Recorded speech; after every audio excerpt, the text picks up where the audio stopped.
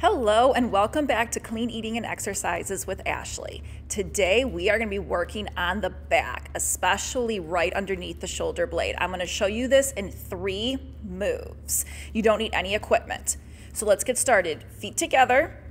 We're going to slightly bend our knees and we are going to hinge forward at the waist and arms right underneath our chest. Straight fingertips down. This is a side view. I want you to pull your belly in keeping our lower back spine neutral. It's very easy in this move to lower the back. All right, right arm up and then bring it down. Left arm up and bring it down. You are bringing the inside of your elbow up to your ear, stretching your arm forward. I want you to feel like somebody's taking your fingertips and pulling them away from your body. Breathing as you do this. Breathing out as the arm comes up and smile. Good job. Now, the reason why we're hinged forward, if you were to stand up and lift your arm, that is only getting your shoulder. Hinging forward, we are using more of our back muscles, all right? And both arms. Reaching front. Remember to pull that belly in, keep that spine straight. Breathing out as you lift the arms up. Breathing in as they fall right underneath your chest. Keep it up.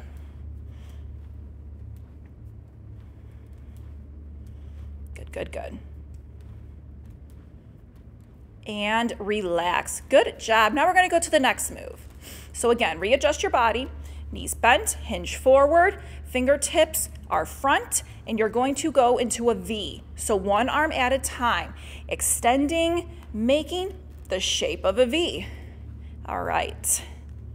Starting to open up our shoulders more.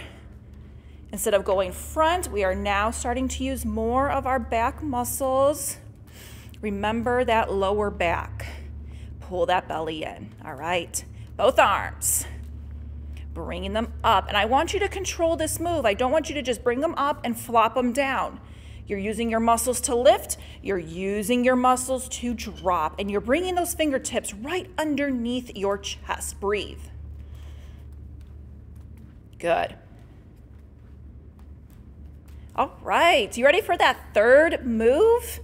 Well, let's first kind of cool down our back a little bit. Go forward and back, forward and back. Rounding, third move, let's do it. We are gonna go into the fly. So again, bend your knees, hinge forward, belly in, lower back neutral, elbows bent.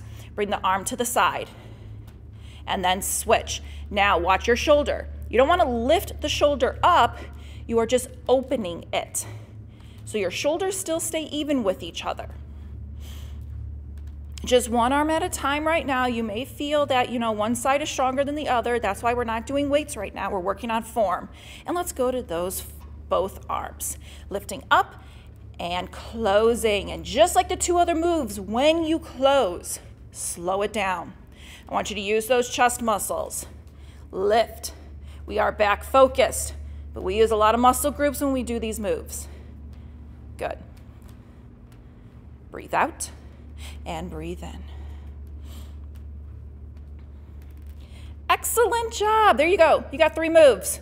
Improve your back muscles. All right, let's strengthen them.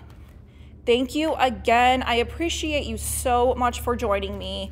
As always, please make sure that you hit subscribe. This is your next video.